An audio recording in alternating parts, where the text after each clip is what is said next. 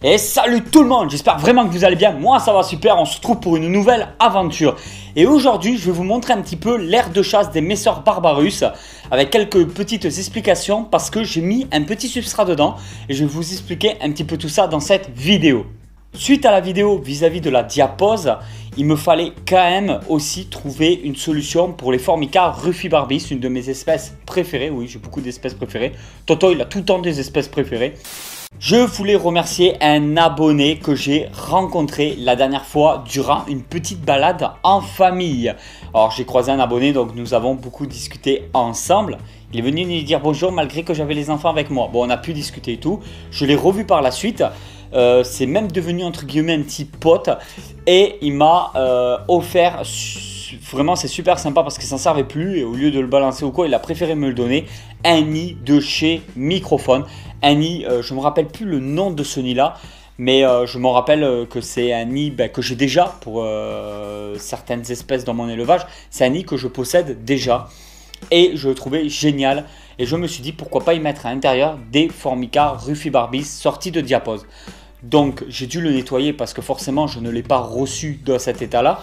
Il était un peu plus sale. J'ai dû le rincer à l'eau, bien le nettoyer et tout, remettre de l'anti-évasion, m'occuper un petit peu de ce nid là que je trouve vraiment top. Après le seul inconvénient de ce genre de nid de chez Microphone, c'est que les salles, euh, donc l'air de chasse est vraiment peu profond. Généralement c'est l'épaisseur du, nid en soi-même, euh, au niveau euh, de, l'épaisseur, de la profondeur des salles, l'air de chasse fait souvent la profondeur des salles.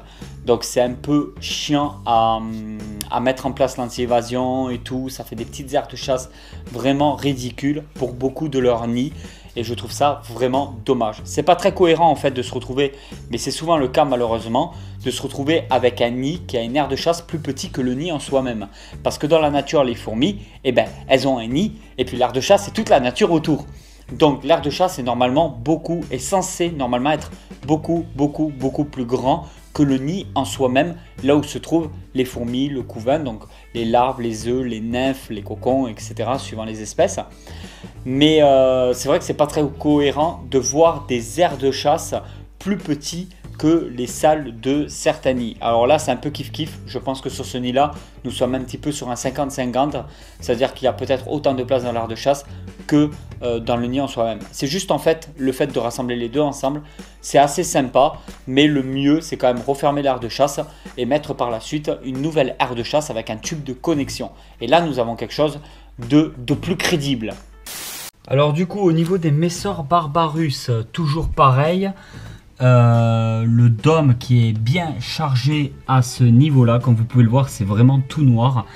Ici, ben, c'est rempli depuis que je l'ai laissé ouvert. Comme je vous avais dit, c'était prévisible à fond.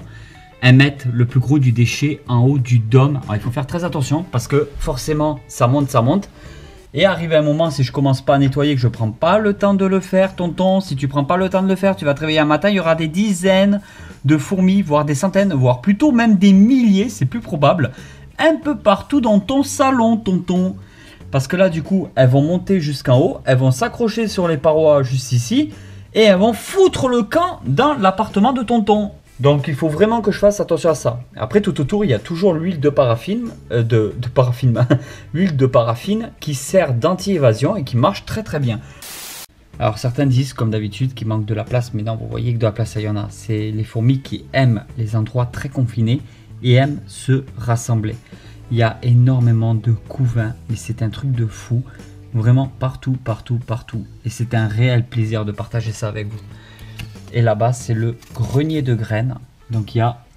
Ah oui, il y a quand même beaucoup de fourmis. Je suis quand même très étonné. Parce que c'est la partie grenier de graines. Depuis que j'ai mis, euh, que je mets vraiment de, l'eau dans le nid, que, j'ai bien humidifié le nid, les fourmis circulent très très bien.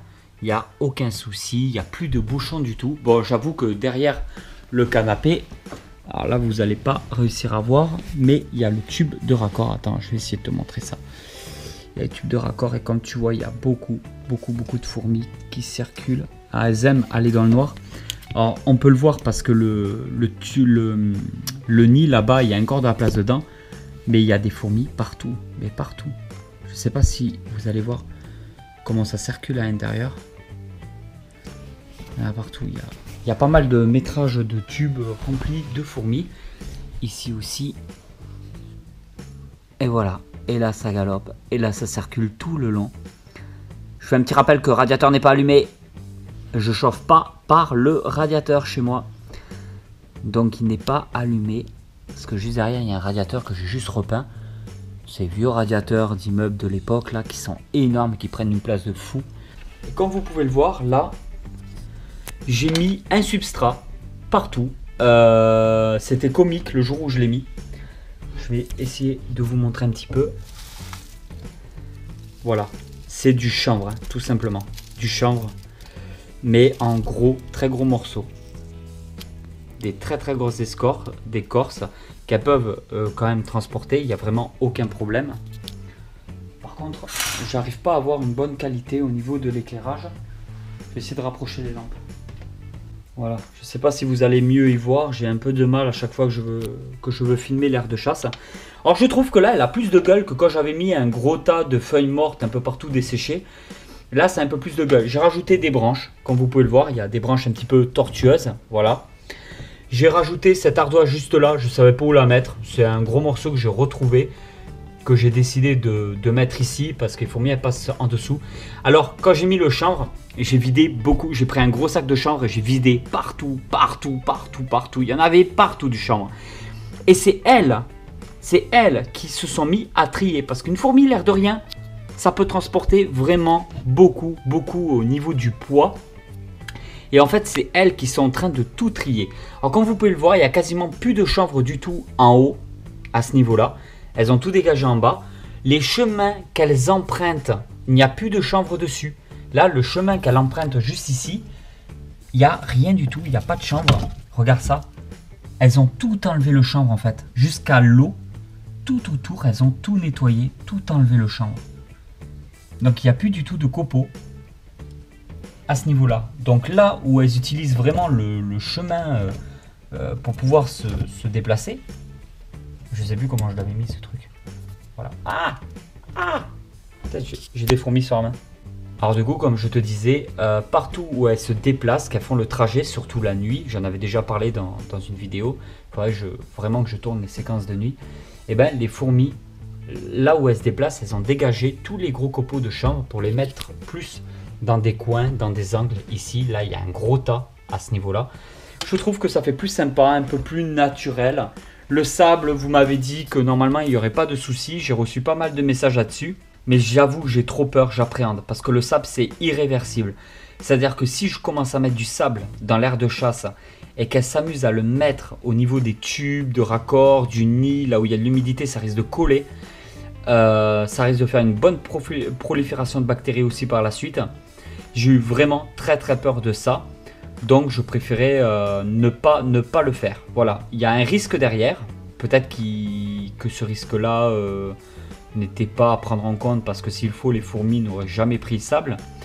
Mais je peux pas savoir. Et si les fourmis décident de faire ça, je ne vois pas comment derrière je peux nettoyer ce problème-là une fois qu'il est mis en place. Et c'est assez, assez difficile pour ça. Ce que j'ai beaucoup aimé là quand j'ai posé le, chanvre un peu partout, c'est qu'il ben, y avait des fourmis partout dans l'air de chasse. Mais j'ai vidé et j'ai un petit peu étalé. Et en fait, les fourmis, elles ont vite repris leurs habitudes. Elles ont sorti les copeaux, même si elles étaient en dessous des copeaux, elles ont pu se déplacer, euh, soulever les copeaux, donc il n'y a aucun problème, il n'y a pas eu de mortalité suite à ça, et je trouve ça vraiment super sympathique. J'ai rempli l'abreuvoir il y a, allez, 4 euh, jours, il est déjà à moitié vide. C'est le méga abreuvoir que j'avais eu chez Fourmium. Il est déjà à moitié vide. La structure est simplement énorme. Je ne sais pas si vous vous rappelez la, petite aire de chasse qui faisait euh, genre 30 euh, cm par 15 cm ou je sais pas quoi. Là, l'aire de chasse, elle est abusée, elle est immense. Je ne sais plus exactement les dimensions, mais il y avait vraiment une vidéo sur le sujet. Je crois qu'elle fait 70 par 80 cm. Avec bon, bah, la plante dessus, c'est plus le petit côté esthétique de mon salon, hein, de mettre une plante. Euh, j'ai rempoté un petit peu, j'ai mis de, la coco pour essayer de garder un peu plus l'humidité à l'intérieur de la plante. Elle a l'air de très très bien se porter. De temps en temps, il y a des petites feuilles comme ça qui tombent, qui sèchent. Alors, boum, ça tombe dans l'air de chasse. Et euh, on verra bien. Regardez, il y en a d'autres. Voilà, elles tombent toutes seules, celles-là. Elles n'ont pas tenu. Alors c'est à moi de contrôler que ça tombe pas non plus n'importe où. Bon, on va les laisser là pour le moment. Et après, il y a des nouvelles pousses. Comme celle-ci par exemple qui pousse juste au-dessus. Celle-là, il n'y a vraiment aucun problème. Et je kiffe cette plante parce qu'elle a des feuilles, mais trop, trop, trop badass. Regardez-moi ça. C'est juste énorme. Je kiffe. C'est un truc de fou. Je kiffe tout ça, quoi. Une tuerie. Alors, je suis pas trop plante, j'ai pas trop la main verte. Mais euh, partager ça avec vous, je, trouve ça juste énorme. Pour l'instant, j'ai pas fait de bêtises. Tout a été bien mis en place. Euh, elle ne creuse pas donc la semelle en plâtre. Je rappelle que j'ai utilisé de l'enduit de rebouchage partout au sol pour faire euh, ce relief. En fait, c'est comme une pâte qui a durci et j'ai pu faire un certain relief. Euh, là, c'est une plaque à l'origine polystyrène et de l'enduit de, de reboussage par-dessus. Et ensuite, j'ai coulé partout entièrement une semelle de plâtre énorme, vraiment partout. Je, suis content, je trouve que ça rend mieux c'est pas fini. Euh, s'il faut, je vais tout enlever, je vais tout remodifier par la suite. Mais je suis content. Je, suis content de ce que j'ai réussi à entreprendre, à faire. Bon, j'avoue que là, ça y est, Tati Célie, m'a mis ses pelotes de laine partout, c'est un truc de fou. Euh, ça, au sol, c'est quand même assez important. Ben, il y a le prix, je crois, non? Non, il n'y a pas le prix. En fait, c'est pour bloquer les portes, au cas où. Parce que quand on ouvre euh, la porte vitrée, c'est une baie vitrée là. Quand on ouvre la baie vitrée, il faudrait pas que la, porte tape contre la vitre là et qu'on pète ça. Euh, il suffit d'ouvrir un peu fort, d'être énervé ce jour-là, qu'un enfant le fasse ou je ne sais quoi. Il faut éviter de péter ça. Donc en fait, j'ai mis ça au sol. Voilà, c'est un petit, une petite sécurité en plus qui, qui fait pas de mal à prendre. Et voilà tout le monde, j'espère vraiment que cette vidéo vous a plu. Si cette vidéo vous a plu, vous pouvez toujours la partager sur les réseaux sociaux. Et moi, je vous dis à très vite pour une nouvelle aventure. Allez tout le monde, ciao ciao